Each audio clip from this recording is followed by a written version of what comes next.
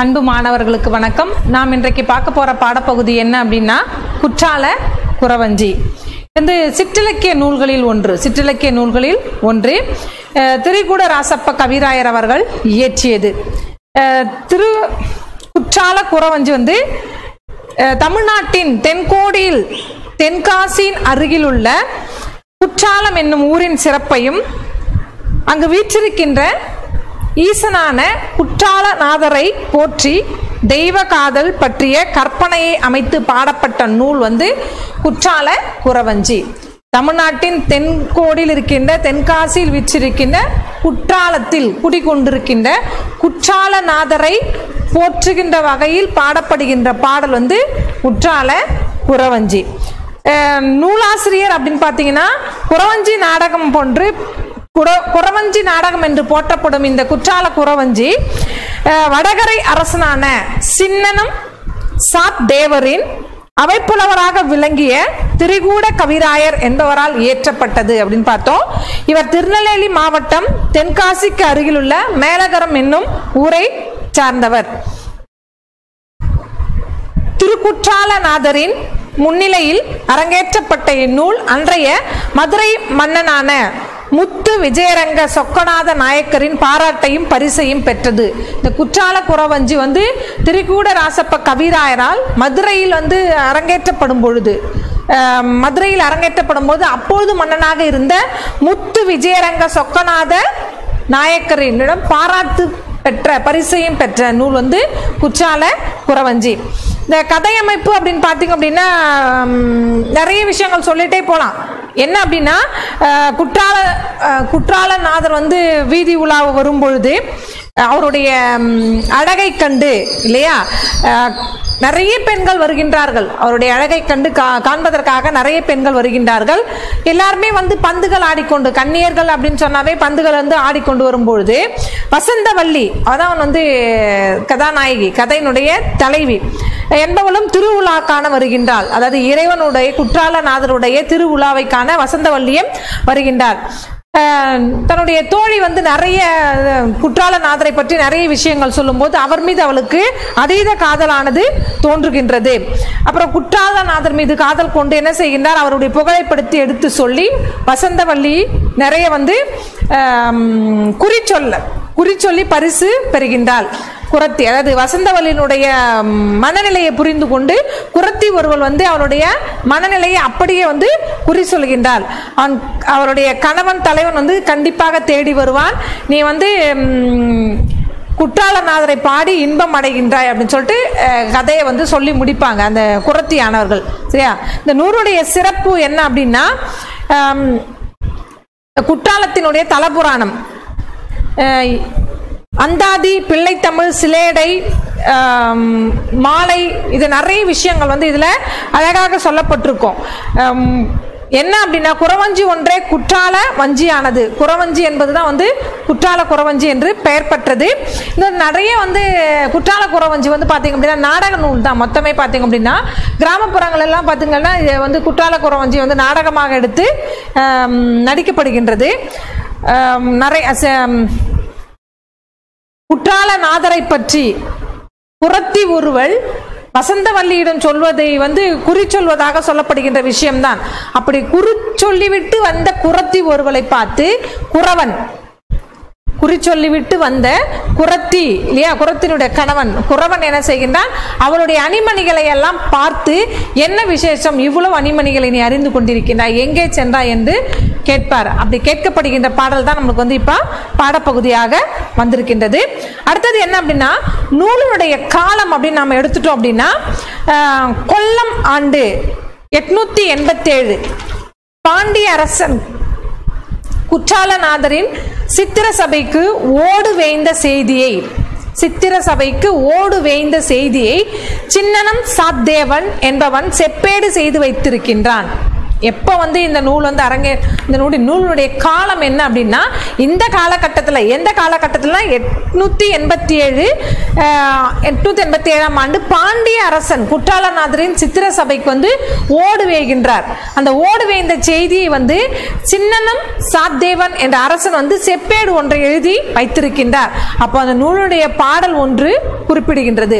அதனால இந்த காலம் வந்து பார்த்தீங்க அப்படின்னா கொல்லம் ஆண்டு அப்படின்னு சொல்லப்படுறது வந்து எட்நூத்தி இருபத்தி நாலுலேருந்து ப்ளஸ் எட்நூத்தி எண்பத்தி ஏழு எட்நூத்தி இருபத்தி நாலு பிளஸ் எட்நூத்தி எண்பத்தி ஏழு அப்போ அந்த ஆண்டு வந்து ஆயிரத்தி எழுநூத்தி பதினொன்று என்று கணக்கிடப்படுகின்றது. இந்த நூலுடைய ஆண்டு வந்து ஆயிரத்தி எழுநூத்தி பதினொன்று என்று குறிப்பிடுவதால் இந்த நூலுடைய காலம் பதினெட்டாம் நூற்றாண்டு. ஆயிரத்தி எழுநூத்தி பதினொன்று பதினொன்று அப்படின்னு சொல்லும்பொழுது அந்த பதினெட்டாம் நூற்றாண்டுடைய காலகட்டத்தில் திருக்குற்றால குறவஞ்சி இல்லையா? இந்த குறவஞ்சி நூலானது நாடக நூலானது ஏற்றப்பட்டுள்ளது என்று சொல்லப்படுகின்றது. சரி நமக்கு வந்து இன்னைக்கு இந்த குரத்தியானவள் குறி சொல்லிவிட்டு அணிமணிகளை எல்லாம் வாங்கி கொண்டு வருவாள் இல்லையா? அதை பார்த்து குறவன் என்ன கேட்கின்றான் என்பதுதான் நம்மளுக்கு இன்னைக்கு பாடப்பகுதி. வாங்க பார்க்கலாம். சங்க இலக்கியங்கள் வீரர்களை அரசல்களை வள்ளல்களை தனி மனிதர்களை பாடின சங்க இலக்கியங்கள் அப்படின்னு எடுத்துட்டோம் அப்படின்னாவே எல்லாமே பார்த்தீங்க அரசர்கள் வீரர்கள் புலவர்கள் சக மனிதர்களை எல்லாவரையும் பாடக்கூடிய ஒரு நூலாக இருந்தது.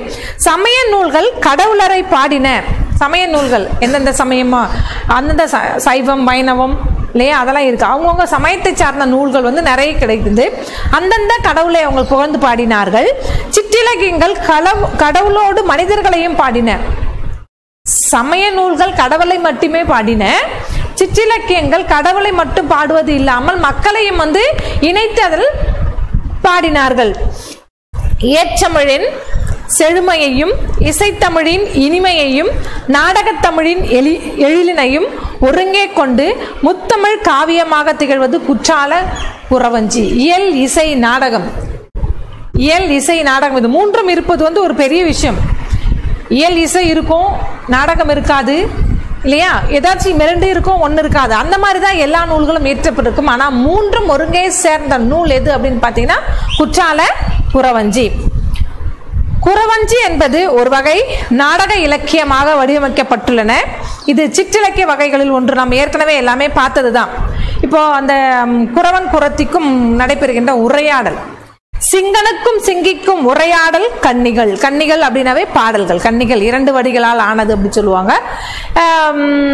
என்னென்ன பாட்டு பாடுறாங்க பட் சிங்கன் வந்து கேட்கிறாரு இத்தனை நாளாக என்னுடன் சொல்லாமல் எங்கே நடந்தாய் நீ சிங்கி?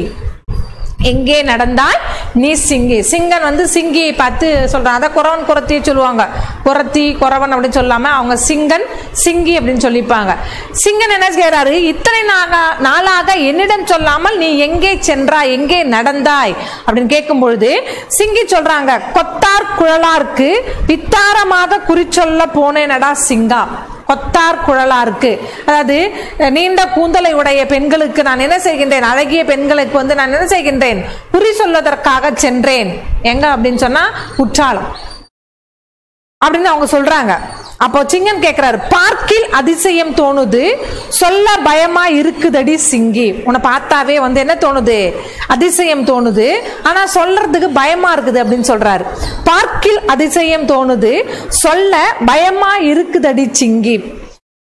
அங்க சிங்கி கேக்குறாங்க ஆர்க்கும் பயமில்லை தோணின காரியம் அஞ்சாமல் சொல்லடா சிங்கா.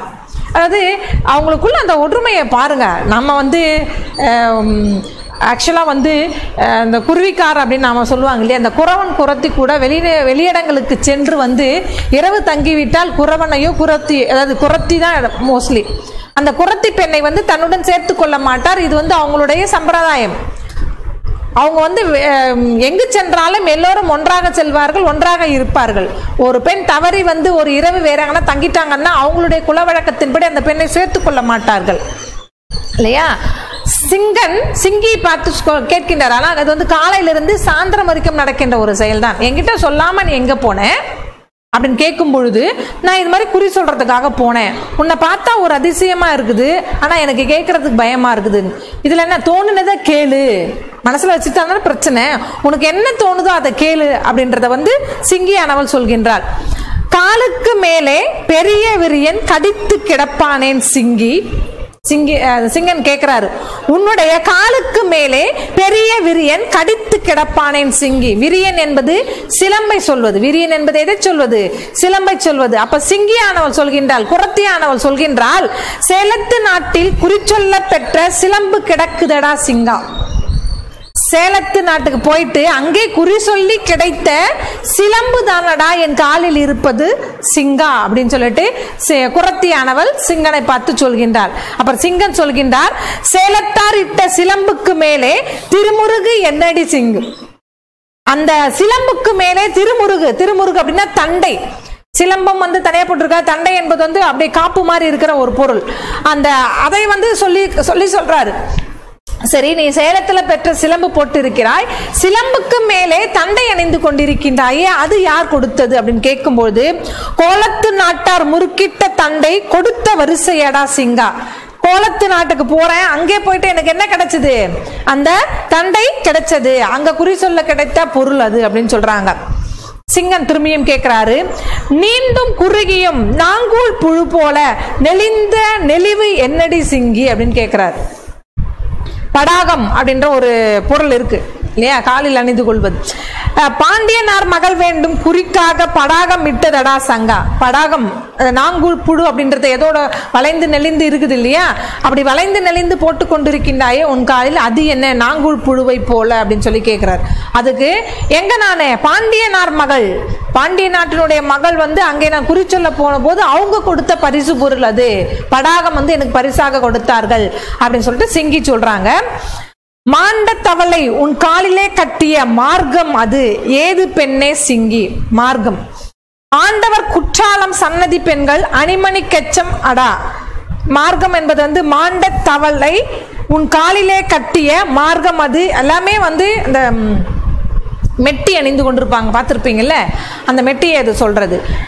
மெட்டி வந்து யார் கொடுத்தது அப்படின்னா உன் காலிலே கட்டிய மார்க்கம் அது ஏது பெண்ணை? சிங்கி அப்படின்னு கேட்கும்பொழுது ஆண்டவர் குற்றாளர் சன்னதி பெண்கள் அணிமணி கெச்சம் அடா சிங்கா அப்படின்றாங்க. அரைமணி. அரைமணினா எங்கே கட்டுவாங்க? அரை அண்ணா கயிறுன்னு சொல்லுவோம்ல நம்ம? அதை தான் வந்து அரைமணின்னு சொல்லுவாங்க. அந்த மெட்டி அரைமணி. மார்க்கம் என்பது அரைமணி குறிக்கும் மெட்டி. இது எல்லாமே வந்து புதுசு புதுசாக நீ போட்டுட்டு இருக்கிறியே இது ஏதுன்னு கேட்கும் பொழுது அந்த குற்றாலத்தில் இருக்கின்ற பெண்களுக்காக குறி சொன்ன போது அவர்கள் கொடுத்தது அப்படின்னு சொல்லி சொல்கிறாங்க சுண்டு விரலிலே குண்டல பூச்சி சுருண்டு கிடப்பானேன் சிங்கி அப்படின்றாங்க மோதிரம். சுண்டு விரலிலே குண்டலப்பூச்சி இல்லையா? சுருண்டு கிடப்பானேன். சிங்கி. கண்டிய தேசத்தில் பண்டு நான் பெற்ற காலாழி பீலியடா சிங்கா. காலாழி அப்படின்னு ஆழி என்பது மோதிரம். ஆழி என்பது என்னது? மோதிரம். அதை தான் என்ன சொல்றாரு அப்படின்னா குண்டல பூச்சு அப்படின்னு சொல்றாரு. அப்படியே ரவுண்டா உருண்டையா இருக்குதே. நீ கா- கா- சுண்டு விரலில் அணிந்து கொண்டிருக்கின்றாயே. அந்த பூச்சி என்னது அப்படின்னு கேட்கும்போது பூச்சி குண்டல பூச்சி போல அணிந்து கொண்டிருக்கின்றாயே. அது என்னன்னு கேட்கிறாரு. அவங்க என்ன சொல்றாங்க? கண்டிய தேசத்தில் பண்டு என்ன பெண்கள் இல்லையா? பண்டு நான் பெற்ற காலாழி பீலியடா சிங்கா. காலாழினா மோதிரம். அது நான் பெற்ற மோதிரம் அடா அப்படின்னு சொல்றாங்க.